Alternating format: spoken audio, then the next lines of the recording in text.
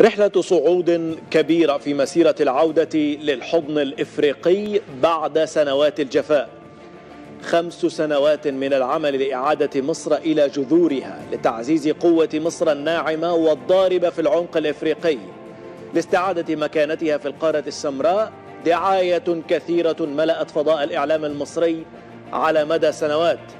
لم يسأل عاقل في هذه الماكينة الإعلامية عن جدوى هذه الجهود المضنية كما يصفها السيسي لاحتواء التهديدات وتعزيز التعاون مع الحلفاء مع الحلفاء سيما وهو القائد العسكري الذي يعلم منذ عقود أن الحرب المحتملة ستخوضها بلاده من أجل تأمين المياه.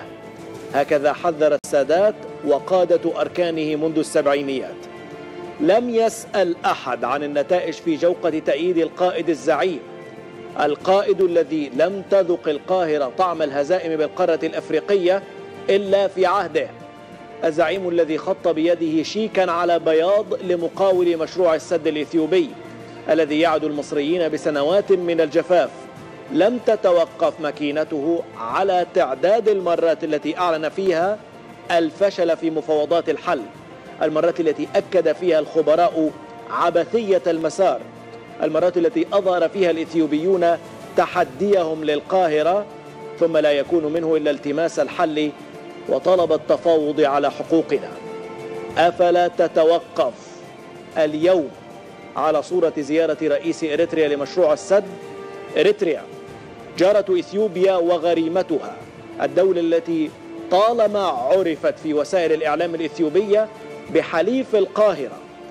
أفلا يتوقف فرسان الوطنية في مسبير ومدينة الإنتاج الإعلامي على رسالة هذه الزيارة على ما تعنيه رسالة الدعم الإريترية لمشروع السد وكيف تحول موقف الحليف إلى النقيض. أفلا يتوقفون على قليل من نتائج مباريات الزعيم القائد الفيلسوف الملهم اللاعب الكبير في القارة الإفريقية كما يحب أن يصف السيسي نفسه. وكم يسجل من أهداف في مرمانا. أفلا يتوقفون على رسالة التحدي الجديدة لرئيس الحكومة الإثيوبية وهو يعلن بكل أريحية أن السد سيحتجز أكثر من ثلاثة أضعاف المياه في المرحلة الثانية لملئه عما قام بحجزه في المرحلة الأولى. أسئلة معلقة. تنتظر ولو بضع دقائق من النظر في موقف بلادنا. بضع دقائق.